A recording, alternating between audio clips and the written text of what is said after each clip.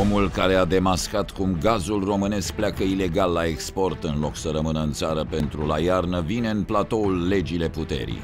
Astăzi, de la ora 20.50, Rareș Bogdan, europarlamentarul care se luptă cu Uniunea Europeană pentru interesele tuturor românilor, explică ce vom face la iarnă. Stăm iar la lumânare sub două pături ca pe vremea lui Ceaușescu și mâncăm pâine goală cu parizer? Aflați detalii de culise de la cel mai înalt nivel. Ce se discută chiar acum privind criza energetică? Vor fi opriți hoții care ne fură la facturi sau ne vor trimite pe toți la închisoarea săracilor? Ce se întâmplă cu pensiile și salariile românilor de rând în timp ce aleșii își cresc cu nesimțire lefurile?